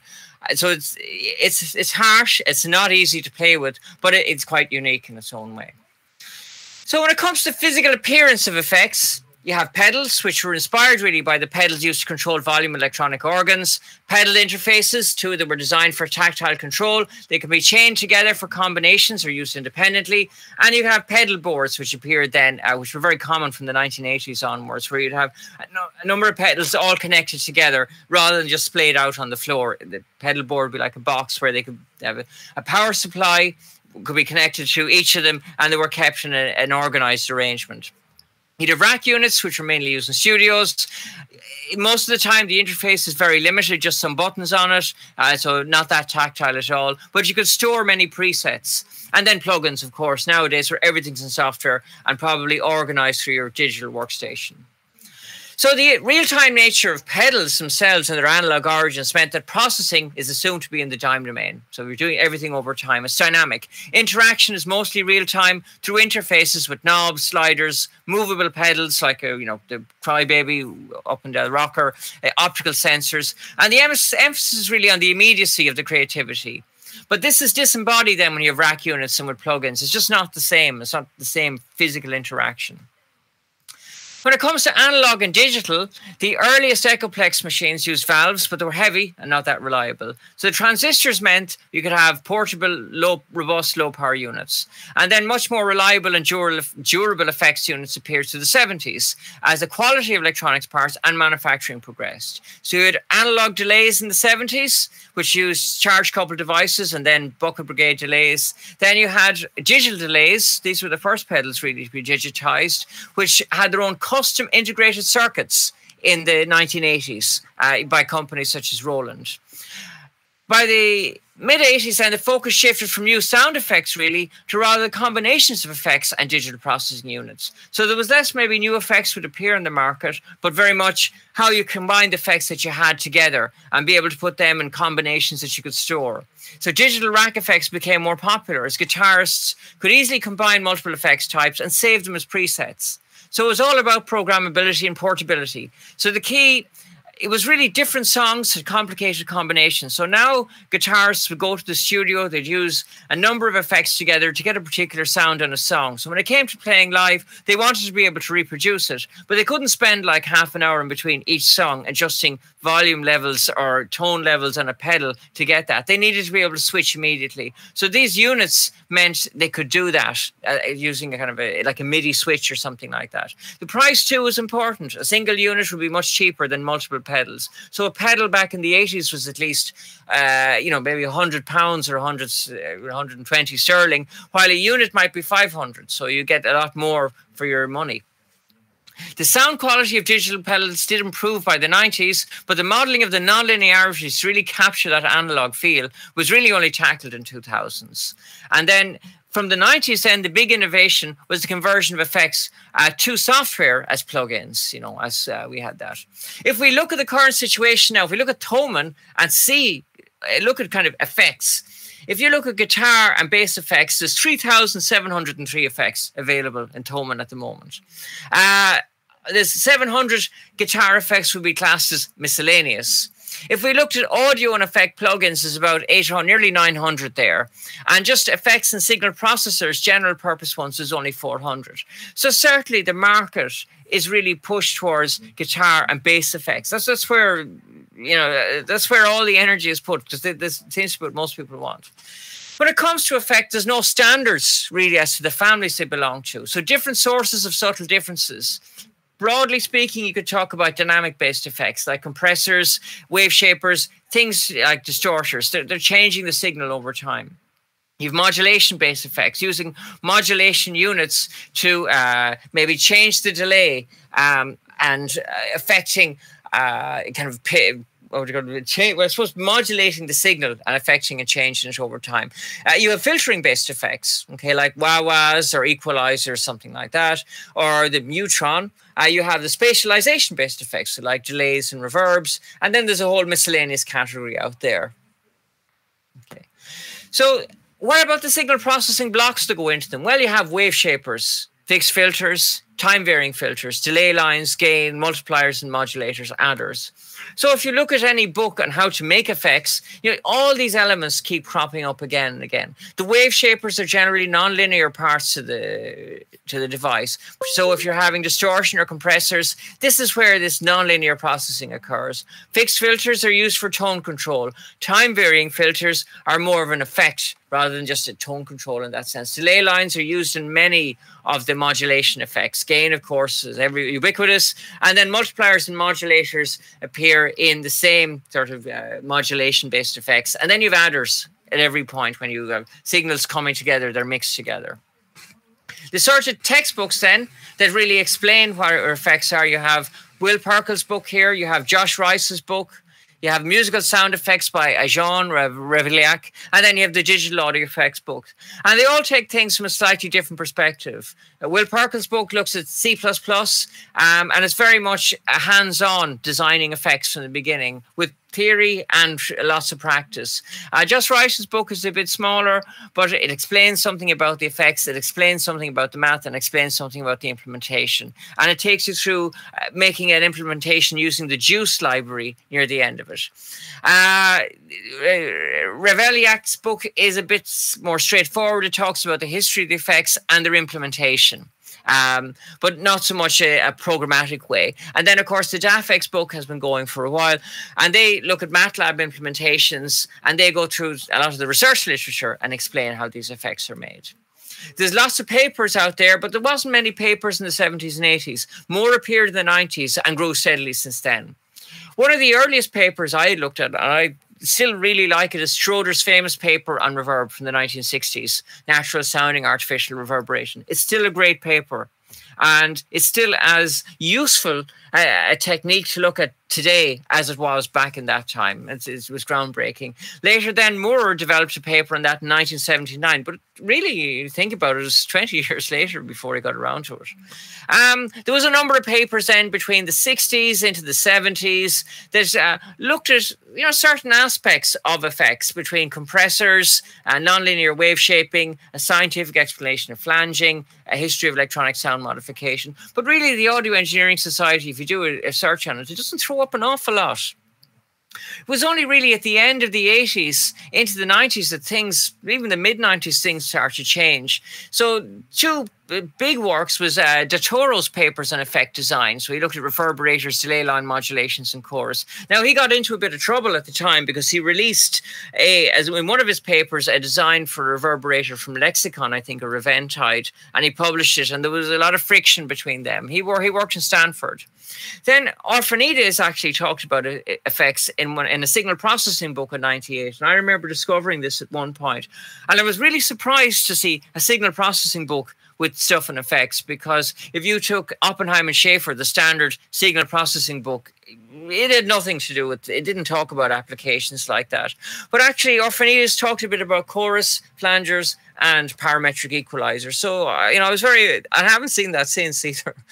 Um, more papers then appeared through the you know, in the last 20 years between particularly in uh, the audio engineering society. There's been some review papers some talk about you know compressor design uh, time you know trying to model nonlinear systems. Uh, Vesa Välimäki had an IEEE paper on uh, looking at reverb algorithms. And then uh, he also did a paper on audio equalization. And then, uh, in the process of making this, I found there was a paper came out just this year in January in Applied Sciences on a history of audio effects. Slightly different to what we're doing today, but similar enough all the same. Francis Rumsey, then, who's known for his books and introductory uh, material, he has two kind of short papers in the Audio Engineering Society. The first one really is an explanation of some of the algorithms of the time, looking at reverberation algorithms, the Leslie speaker modeling, and uh, something else in there, convolutional reverb, I think. And then modeling audio effects, I think, is a bit more general paper that came out earlier this year, actually. Uh, of course, the Digital Audio Effects Conference has been running since 98. All the proceedings are available online. It grew out of an EU cost project, and there's two editions of that textbook that have been introduced. Okay. Well, how about ubiquity? So I thought, well, maybe how can I bring this topic in? So if you look at the delay effect, it took me many long time to find this diagram. Um, and really, it, it talks about the various times, okay, and for a mono or stereo signal. And so if you have your time delays between, you know, one to 20 milliseconds, you're looking between phasing and flanging. There's a transitional zone between 15 to 50 milliseconds. Slap echo is somewhere between 50 and 150 milliseconds. Discrete echoes are between 150 to 400 plus milliseconds. And then once you're up at 400 milliseconds, you're looking at loop type music. Ping pong echoes are 200 to 400 milliseconds. A chorusing and doubling really is between 10 and 35 milliseconds. So is that the only answer? Well, actually, I took a quick review of some of the books and to see, well, is there a ubiquity? Uh, do they say the same thing or do they change? Do they have differences? takes on the on the same units? So in the DAFX book, for those sorts of delay items like flangers, chorus, that delay things, they have this universal comb filter and Reiss produces a structure which is shown here on the left. Reiss produces a structure which is broadly similar, really. It looks quite the same. You have your delay element in the middle, you have a summer here, you have some feedback gain, you have some uh, uh, you have feed forward gain here, and you have feedback gain. Um, the only difference is that in the uh, DAFX book, you have this BL here, okay, which is allows you to feed through some of the raw input, like the dry input, without any sort of modification just to get gain on it. So in the DAFX book, they give some parameter values here for creating slapback or creating echo out of that system. Okay. Now, uh, the DAFX book uh, also give a uh, modulated delay line structure for things like flangers, choruses here. So this here has a modulated delay line, so you can vary the delay time on this delay element here. And they give this for the chorus, so they have a number of different branches with modified delays in it. If we look at Reiss's flanger, well, it's similar, all right. You have this modulation, okay, and you have your direct path. And similar to for their um, flanger here, okay, so you have this uh, LFO modulating some delay, and you have the feed forward and feedback gains in that. Reiss's chorus is also quite similar to what's in the DAFX book, okay. Now, both books too consider delay line interpolation, mentioning linear interpolation, uh, but Reiss also considers second order cubic, while DAFX considers all pass and cubic spline. So they, when it comes to the delay line interpolation to get those fractional delays, they, they, take a slightly different approach in how they explain it. And Réveillac, he introduces two different diagrams. Okay, this is his flow chart of the chorus effect. So he introduces these filters here to get this multi-band chorus and these delay elements, but he doesn't talk about the um, the time varying nature of those delay elements. His flanger effect, all right, he has an LFO attached to this uh, delay that's going to vary between 5 and 20 milliseconds. So that structure is pretty much the same. In Pirkle's book, it looks like this. This is a generic modulated delay block diagram. Could be any type, flanger, vibrato, chorus. So again, this is your delay line here. You have feedback, feed forward, and this is your dry. So this would be like the BL in the uh, in the DAFX book. Okay. When it comes to parameter values, there are. This is what the DAFX book gives. Uh, they give a industry standard audio effects, so they give a set of values here for uh, for setting on those structures. Okay, and this came from Sascha Disch's thesis in uh, 1999. Okay, so for a chorus, a value of BL is 0.7, FF is 1, feedback is minus 0.7, and the delay varies between 1 and 30 milliseconds. Okay, and the modulator then is some sort of low pass noise. Uh, they also give this table 3.3, so there's a you have a couple of choices, but it's not necessarily uh, combined together. There is a difference then appears in how the authors consider parameters. For example, for slapback delay, the DAFX book is one figure, while Reiss offers a slightly different set of numbers. Uh, DAFX is between 60 and, uh, uh, yeah. So in the DAFX book, they look at, uh, for slapback, they go between 25 to 50 milliseconds. Reiss says it's between 60 and 150 milliseconds. Réveillac suggests between 50 and 120 milliseconds. So which one do you pick? Or for doubling, Réveillac says a short delay time between 5 and 50 milliseconds, feedback zero, and a just wet dry mix to here. Reiss says between 50 and 100 milliseconds. DAFX says between 10 and 100 milliseconds. Okay. So with Reiss, the flanger and chorus are nearly identical in implementation, both based on modulated delays. Typical delay lengths for flanger go from 1 to 10 milliseconds. Chorus is the order 20 to 30 milliseconds. And then the speed control ranges from uh, 0.1 hertz to 10 hertz. Réveillac, though, says the flanger's delays between 5 and 20 milliseconds, and that Chorus uses higher delays of 20 to 80. And then Pirkle suggests a maximum delay of 7 milliseconds for a flanger, between 5 and 30 milliseconds for a chorus. And if we compare them back with the DAFX book, we'll see another difference in there. So you have a lot of choice. In some ways, there's no ubiquity to it. It's like pick what you like, as long as it's low. Okay. So Pirkle gives this handy uh, table here we can use to do that. And the same actually for the distortion characteristic equation. If we look at Reiss's book here, and the same as the DAFX book, actually, they use this equation here. But Julius Smith, who's also known for his audio effects, gives this equation, which is similar, but it's not the same, okay, for what's happening there, okay. Um, so, but they both come out with this soft clipping characteristic, which I suppose is broadly similar. So what's the current situation? Almost everything that was carried out in hardware is now possible in software. So the musician really has become the composer, the performer, the engineer, the producer, the mastering engineer. So, in a way, we, we know how to do everything. At one time, it was the engineer who knew how to uh, add the effects, or the producer would suggest that, like Martin Hannett in the studio who did Joy Division. But now with our bedroom studio, we can do everything on the computer. Obviously, then in the 21st century, there's a huge market for effects going by Thomann. Things have moved beyond emulation. Digital only effects too have appeared. So it's not just digital models of analog effects. We have our own digital only effects, but it's still in its infancy. The research field certainly is more buoyant than ever. Uh, the internet, though, has given voice to many small boutique effect makers. They now have an easy medium where they can reach an audience. So I think if you look around, you'll find a lot of smaller pedal makers making analog units or digital units as well and selling them. And they're either selling them as pre made devices or kits. And people are interested. More than ever, musicians are looking for a unique element for the sound. So, in a way, has anything changed? It's still, you know, the, the ubiquitous of people looking for something different, get their own sound. The last thing I'd like to talk about maybe is the semantic descriptors of effects. And this is a kind of a, a, current research area. And in a way, it's trying to, now that musicians, engineers, we're all together, how, how do we interact with effects anymore? At one time, you needed to have kind of technical understanding of what was going on or a technical feeling for what was happening. So at MU, we analysed data from the semantic audio feature extraction plugin database that had been collected over two groups. The first group was audio experts made up of sound engineers and recording producers. And the second was audio laypersons made up of students and crowdsourced participants willing to listen to and describe music. So both groups described music that had been affected by four effects tools. So there was equalization, reverberation, compression, and distortion. So, really, though, from what we found from analysing the data, that the auditory experience is very individual, but more so for the layperson and the professional.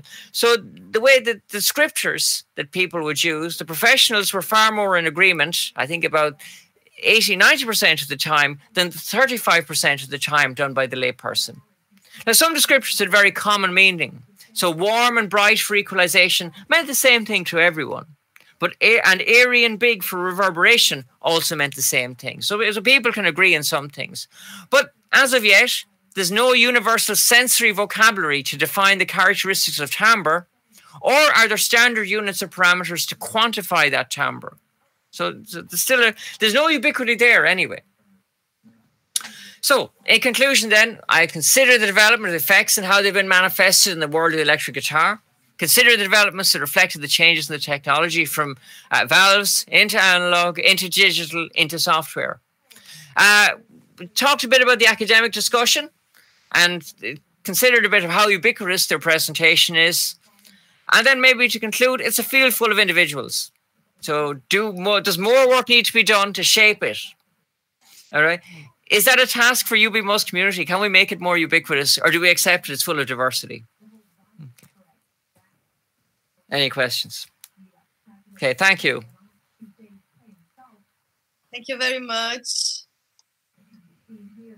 Thank you, Joe. Uh, we are almost one minute. There's always uh, also, oh, sorry, there is almost one minute delay uh, between your transmission and YouTube. So they are still uh, watching your presentation. I see. Okay. So okay. let's give them a few minutes to make the questions. All right. I, did, I didn't go over time too much, did I? No, you did not. Uh, uh, uh, grab yourself a cup of coffee or something, and can then please, we'll be ready. Can you please stop presenting your screen? Uh, oh, yeah, okay. Yeah, all right. Yes, should we just wait a minute to see if we have some questions? It was very nice. Nice lecture about effects. I may use it in my my cl my classes.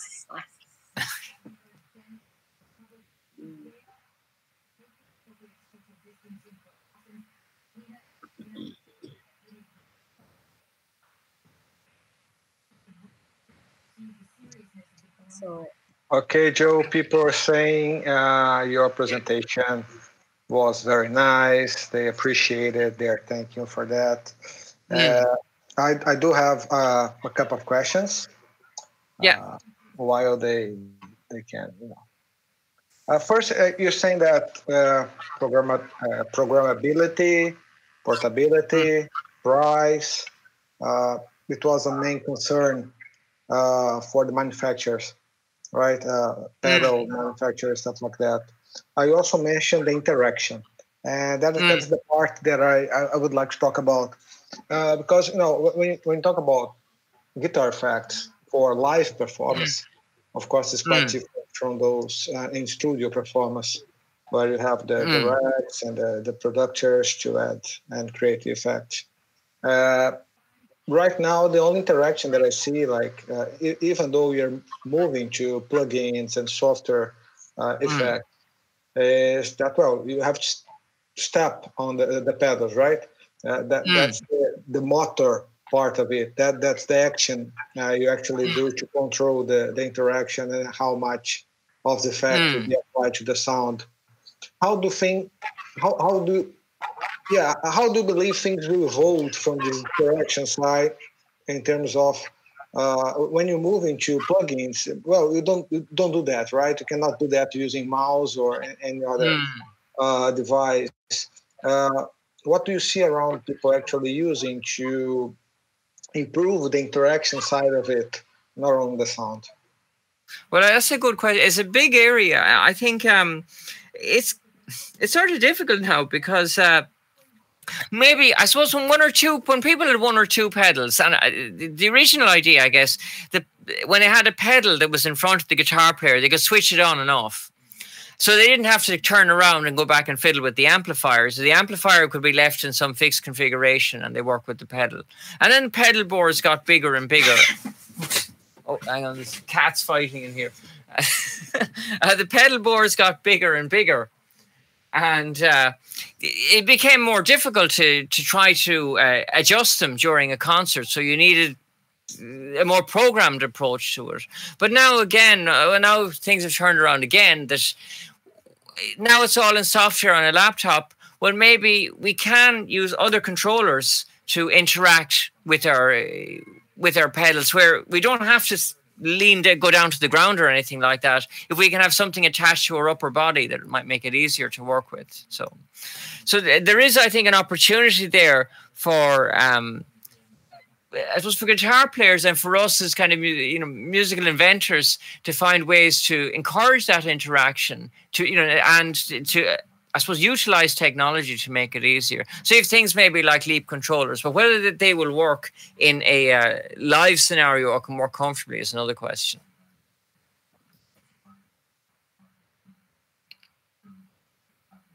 Okay, thanks, Joe. Uh, Alemar Hena, he's saying that he loved the presentation as a musician in a surf rock band and as a mixing engineer and a composer of computer-based music. He found your presentation very interesting. Uh, Pedro Sarmento uh, have a couple of questions. Oh right? yeah, okay. First one is in one of the first slides, you said mm. something about Fender's model making it easier for uh, downward bends than upward. Mm. Could you clarify that? Uh, well, I think well, I think the design of the tremolo from that time it made it easier to push the arm down towards the guitar itself than to pull it back out. So it's easy to bend down than to bend up. So later okay. on, in more recent times, you, you know the Floyd Rose tremolo, that floating tremolo, where uh, you, you, can rock it back and forth, which is uh, much easier to, to to have kind of bends both ways. Yeah, I see. Uh, second, second questions. Uh, hmm. second question is: uh, What's your view on the uh, recent advances that use artificial intelligence to model audio effects? So I haven't heard. Uh, so I haven't really heard any of the uh, the results of that. But I do think AI is going to bring a lot. It's certainly going to have a big impact on things in the next five to ten years. Um, there, there have been a few papers in the last uh, five years anyway on it. So I do think it's it is when it comes to modeling, I, I wonder, but for maybe coming to inventing new effects, uh, I I'm certain it will have an impact there.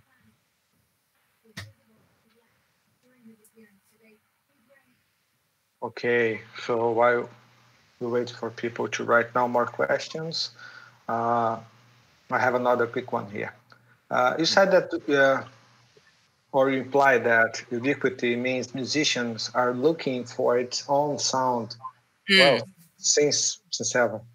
Uh, and the thing is, uh, isn't isn't it complicated to not expect them to create their own uh, effects, playing, controlling, producing, uh, and wouldn't that be against that first principle of creating technology for uh, maybe mm.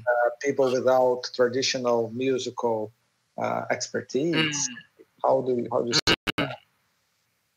Um, mm, well, I, I, think well, it, it, I suppose like there are there have been musicians like Les Paul or Tom Scholz, who was in Boston, who created their own effects. So we're both, you know, engineers and musicians. So the, I think you'll always find people like that. And there is this connection between mathematics and music too. So some people who are, you know, musical also have a mathematical ability that they, they can maybe try to do something technical. Um, it's maybe when it comes to looking for a sound, that it is a philosophical thing, but uh, it's funny maybe that uh, guitarists or musicians that we can recognize the most have their own sound. They may not be the best players, but they have something that describes them. And I think, particularly in the um, music business, having your own sound helps you to stand out. So you would you be known for what you do and what you do well, and I, rather than being able to imitate somebody else. And I think they're the people who are maybe last in memory longer. So, for example, maybe Jimmy Page as a guitar player and Led Zeppelin sounded quite different to other players. Eddie Van Halen sounds different again. And anyone else that came after that, you know, Steve Vai, Joe Satriani was different. So, trying something, it's being, it's knowing it at a slightly deeper level and being able to work with it then and be able to develop it. Yeah, well, I was just being provocative, actually. okay. okay, I have one more question from Luzilei. Uh, what do you think about the application of sound processing and sound effects in real time uh, via broadcasting? Would this be a path for the UbiMus research?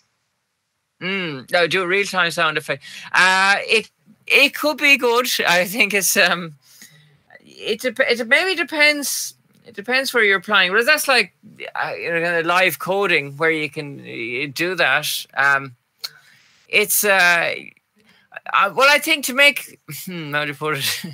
uh, it is a ubiquitous. It it could well be a part of ubiquity having um, you know, effects that can be applied in any way, but be it in real time or be it non-real time.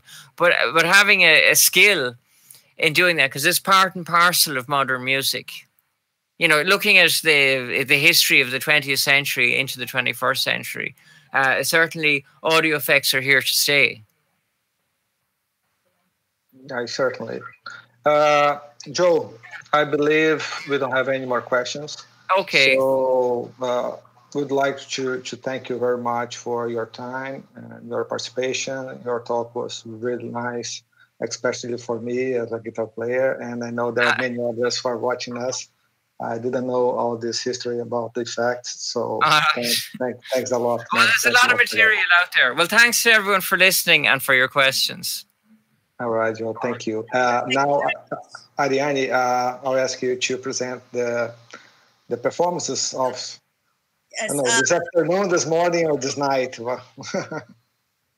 yes, uh, we have two artistic performances now. I'm gonna ask Damian to say about the first one, who is I just turn on the light.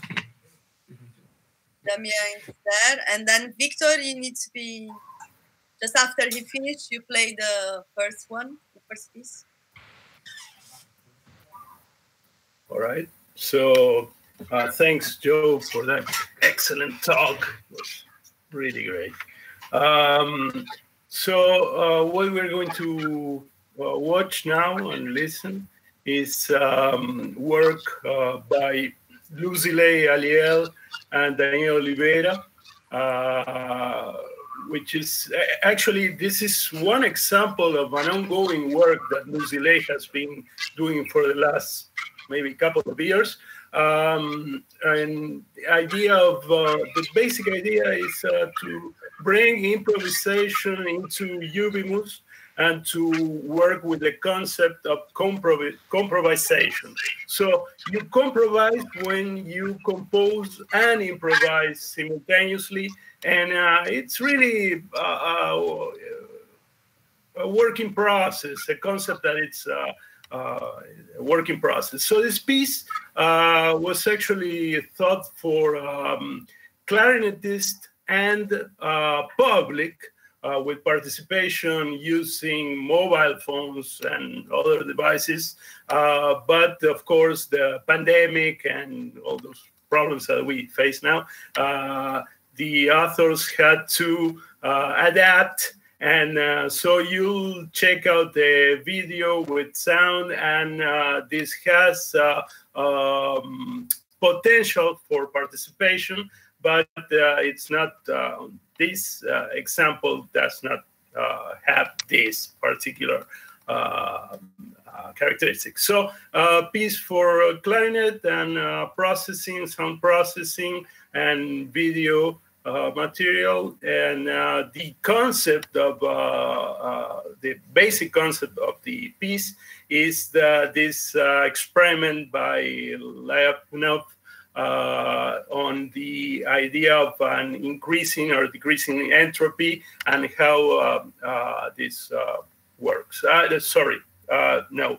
This piece, I'm, I'm, quoting another piece by, by uh, Luzilei. This piece in particular, it's a, a pendulum, a three-part pendulum, and the uh, different dynamics of the pendulum and how uh, that generates patterns for sound. So that's basically the idea.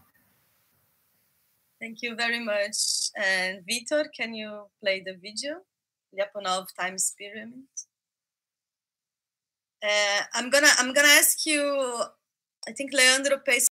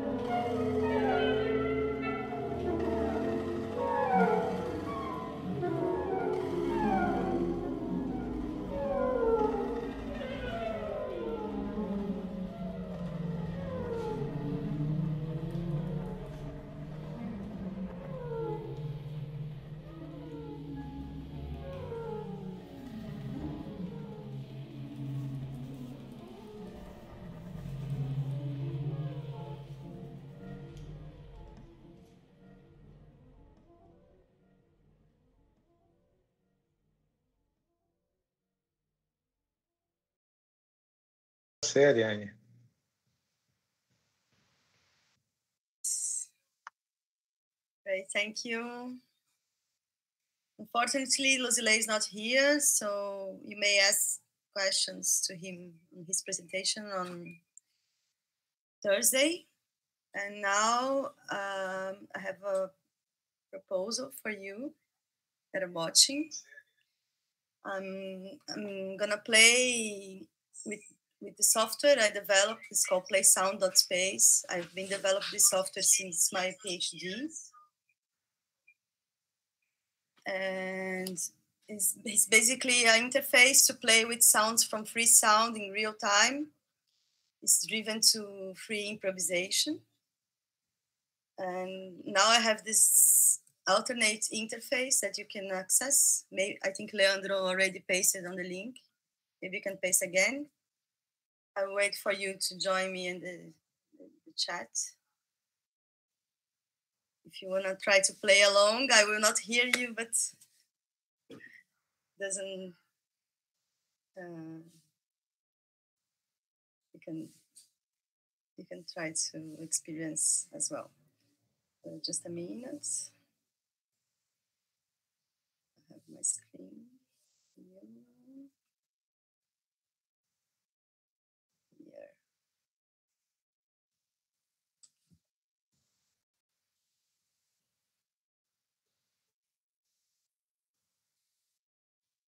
Hello.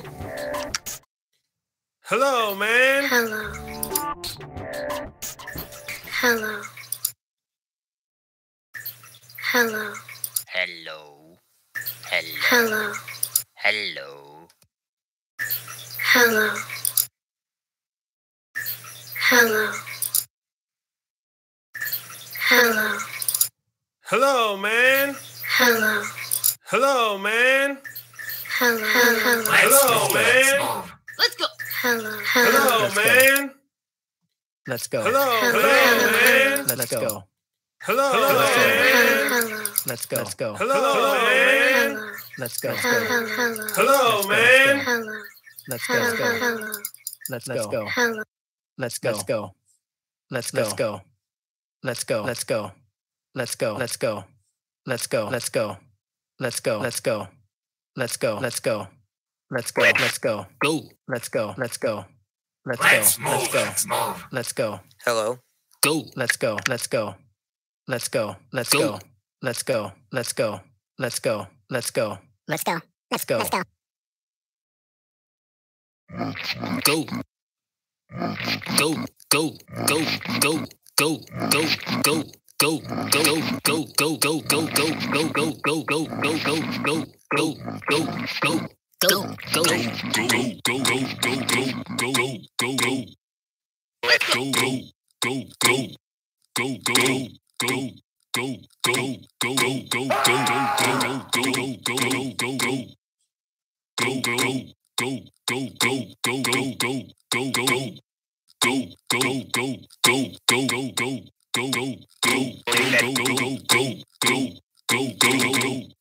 Godzilla.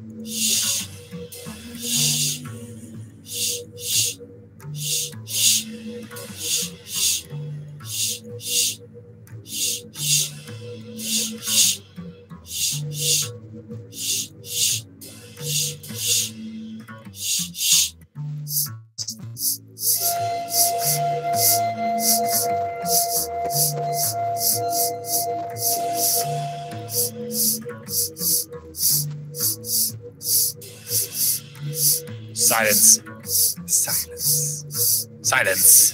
Silence. Silence.